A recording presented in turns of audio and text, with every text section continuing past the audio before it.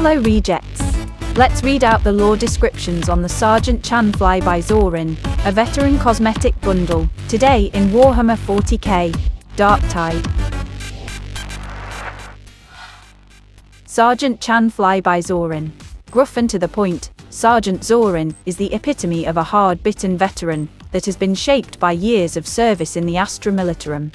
Over his years, Zorin has been wounded and left for dead, twice been the only survivor from his platoon, and earned the Mobian Signet of Valor for saving his squadmates. Yet Zorin fears he is becoming what he most loathed as a young recruit, a by-the-books officer, wholly subsumed into a rigid martial code, striving to break free of a life entirely comprised of berating his squad about unpolished boots and sloppy discipline.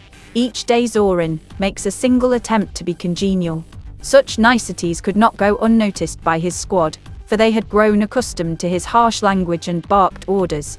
Thus was Zorin's nickname born, for as his comrades noted, if you blink, you'll miss what is known as his single strafing run of kindness.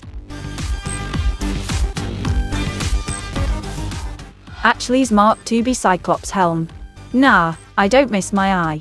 This one's better, even if it sparks in the rain. Sergeant Red Rackham, deceased.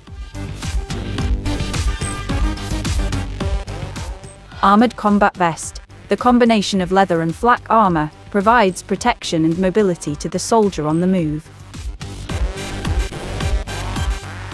Letha Tanker Togs and Mark IV Ahabian prosthetic limb. A well-oiled and maintained bionic is an asset to any Astra Militarum soldier. Due to wear, damage, and periodic malfunction, basic mech repair is required to keep limb in good working order in the field. What do you think of the Sergeant Chan Flyby Zorin bundle? Let me know down in the comments below. Please hit like if you enjoy the video and subscribe if you want to see more Darktide content. Hope you're doing well and I'll see you later.